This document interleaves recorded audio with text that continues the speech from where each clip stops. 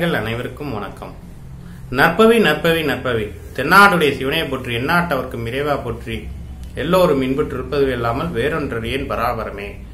ஓம் குரு பிரம்மா குரு விஷ்ணு குருதேவோ மகேஸ்வரா குரு சாட்சாத் பரம்பிரம்மா தஸ்மை ஸ்ரீ குருவே நமக.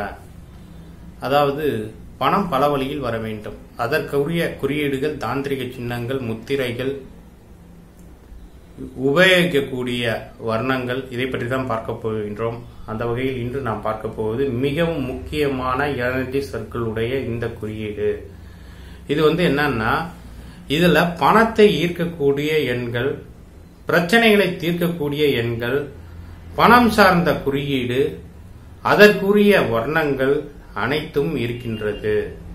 அந்த வார்த்தைகளை நீங்கள் பயன்படுத்தினாலே உங்களுக்கு பணம் வந்து தேடி வரும். பணம் உங்களை ஈர்க்கும். பணத்தை நீங்கள் ஈர்ப்பீர்கள். அப்படிப்பட்ட இந்த குறியீடு நீங்கள் உங்கள் வீட்டிலோ அலுவலகத்திலோ ஒட்டி வைத்துக் கொண்டீர்கள் ஆனால் அது உங்களுக்கு சாத்தியமாகும். அது என்ன? Five two zero seven four one eight zero eight count divine count அதாவது நான் ஏற்கனவே இந்த five two zero seven four பத்தி நம்ம நிறைய சொல்லியிருக்கிறோம். என்னுடைய முகநூல் தளத்தில் அதை பற்றின விஷயங்கள் இருக்கின்றது.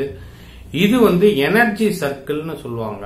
இந்த எனர்ஜி சர்க்கிள் உங்களுடைய எனர்ஜி சக்தியை ஆறாவை வேலை செய்ய தூண்டக்கூடிய விஷயம். இந்த குறியீடுகளுக்கு அதற்குரிய சின்னங்கள் அதற்குரிய எண்கள் அது மட்டுமல்லாமல் இதுல ஏகப்பட்ட விஷயங்களை இதுல வச்சிருக்கிறாங்க. இதை நீங்கள் பயன்படுத்தினீங்கன்னா உங்களுக்கு கண்டிப்பாக பணம் சார்ந்த விஷயங்கள் பூர்த்தியாகும். எண்ணற்ற நல்ல விஷயங்கள் வரும். ஒண்ணுமே இல்லைனாலும் இந்த five two zero seven four ஒன்னு சுக்கர ஓரையில எழுதினீங்கன்னாலே உங்களுக்கு நல்ல விதமான பலன்கள் கிடைக்கும். வாழ்க்கையில் வெற்றி கிடைக்கும்.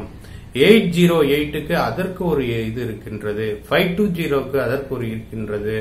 செவன் ஃபோர் ஒன்னா இம்மீடியட் சொல்யூஷன் கிடைக்கணுமா? செவன் ஃபோர் ஒன் பணம் கிடைக்க வேண்டுமா? Five two zero seven four one ரெண்டையும் சேர்த்து எழுதணும்.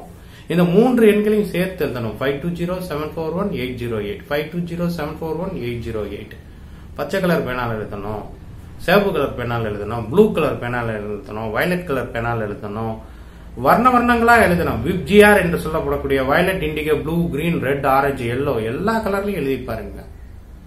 ஏன்னா ஒருத்தருக்கு ஒரு கலர் ஆக்டிவேட் ஆகும் இன்னொருத்தருக்கு இன்னொரு கலர் ஆக்டிவேட் ஆகும் இன்னொருத்தருக்கு இன்னொரு கலர் ஆக்டிவேட் ஆகும். வானவில்லின் நிறங்களை வானவில்லை அடிக்கடி பார்க்க நேர்ந்தால் அதுவே நமக்கு நல்ல சகுனம் நல்ல நிமித்தம். பணம் பல வழியில் வரும். வானவில்லை அடிக்கடி பாருங்க வானவில் வர்ணங்களை உங்கள் உடைகளில் கொண்டு வாருங்கள். ஆனால் நிறைய பேர் வந்து பிளாக் கலர் போடுறதாம்பாங்க. நான் ஏன் பிளாக் கலர் போட்டிருக்கேன்? அதுவும் முக்கியமானது. அது ஈர்க்கக்கூடிய ஒன்று. எதுக்கு வந்து சன்லைட் வந்து பிளாக் கலர் போட்டிருந்தா நம்ம உடலுக்குள்ள வந்து வரைக்கும் வந்து அந்த சன்லைட் இதாகும். துக்க காரியங்களுக்கு பிளாக் கலரை போட்டுட்டு இருப்பாங்க அப்படி தப்பு. நீங்க நல்லா நோட் பண்ணி பாருங்க. ரஜினிகாந்த் பெரிய பெரிய விருதுகள் வழங்கும் விழா ஃபங்க்ஷன்ஸ் இந்த மாதிரியான இடங்களுக்கெல்லாம் வந்து அவர் பிளாக் கலர் போடுவார். பிளாக் வந்து ஈர்க்கக்கூடியது பெருக்கக்கூடியது திரும்ப திரும்ப செய்ய வைக்கக்கூடியது. நம்ம இன்னைக்கு வீடியோ போடுறோம்னா திரும்ப திரும்ப வீடியோ போடணும். நம்ம நிறைய பேரை ஈர்க்கணும். இப்படிங்கிற விஷயம். ஒயிட் கலர் தான் வந்து துக்க காரியத்திற்கு போட வேண்டும். ஏன்னா வந்து ஒயிட்டுங்கிறது பீஸ் ஒருத்தவங்க வீட்டில் திரும்ப ஒரு நிகழ்வு அந்த மாதிரி நடந்து விடக்கூடாது. நீங்கள் நல்லா பாருங்க பிரபல செலிபிரிட்டிகள் வெளி மாநிலத்தை சார்ந்தவர்கள் ஏன் ராகுல் காந்தி வந்து ஒயிட் கலர் ஜிப்பா போட்டுக்கிட்டே போறாரு எல்லா இடத்துக்கும் நல்லா பாருங்க ஹிந்தி ஆக்டர்ஸ்லாம் ஒயிட் கலர் ட்ரெஸ் தான் அதிகமாக உபயோகிப்பார்கள். ஷாருக் கான் பாருங்க ஒயிட் கலர் சட்டையா போட்டிருப்பாரு. ஒரு ப்ளூ கலர் ஜீனு இல்லைன்னா ஒயிட் கலர் ஷர்ட்டு அது மாதிரி சல்மான் கான் ஒயிட் கலர் இந்தி நடிகர்கள் எல்லாமே வந்து ஒயிட் கலரை அதிகமாக யூஸ் பண்ணுவாங்க. ஒயிட்டுங்கிறது சுக்கரன் ஒயிட்டுங்கிறது சந்திரன். நிறைய பேர் சொல்றது உண்டு சனிங்கிறது கருப்பு கருப்பு உபயோகிக்க கூடாது கருப்பு வந்து அவசகுணம் அப்படிலாம் கிடையாது. நிறங்களை எதையுமே நாம் ஒதுக்க தேவையில்லை.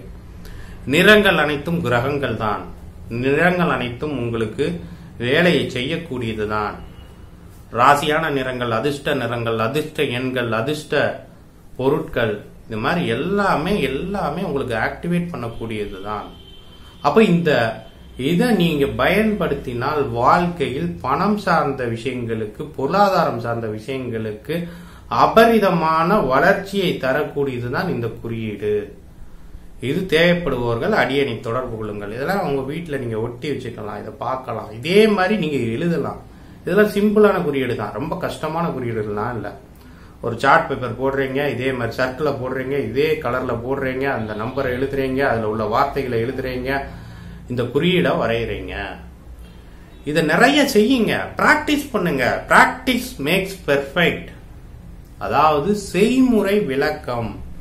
நாம செய்ய செய்ய தான் அது வந்து நமக்கு வந்து பலப்படும். ஒருத்தர் வந்து கத்துக்கிட்டே இருக்கணும்.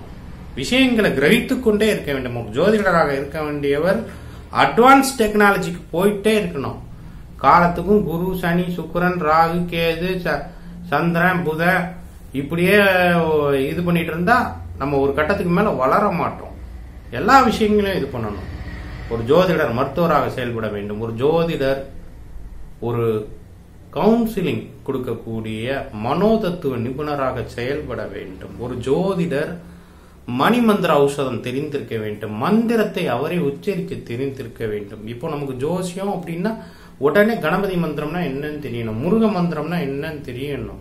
அதை உபயோகித்தால் என்ன கிடைக்கும் என்று தெரிய வேண்டும். இப்படி ஒன்னொன்னு ஒன்னொன்னு இருக்குங்க. எவ்வளவோ இது இருக்குது. குறியீடுகளுக்கு மிகவும் முக்கியத்துவம் வாய்ந்த சக்தி உள்ளது. அதிக ஆற்றல் உள்ளது. தெய்வீக ஆகர்ஷண சக்தி உள்ளது.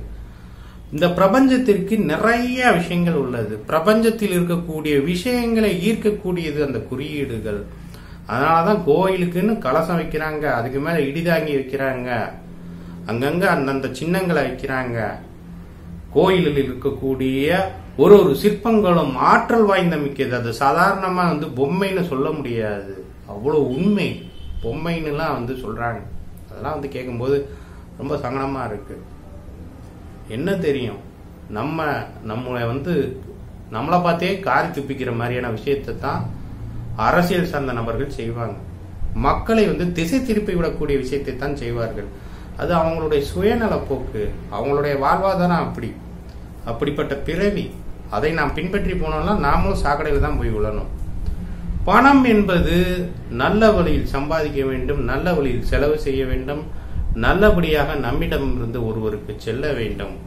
இந்த குறியீடுகளை பயன்படுத்தினால் உங்களுக்கு அது அனைத்தும் சாத்தியமாகும். அடுத்த குறியீடை பற்றி பார்ப்போம்.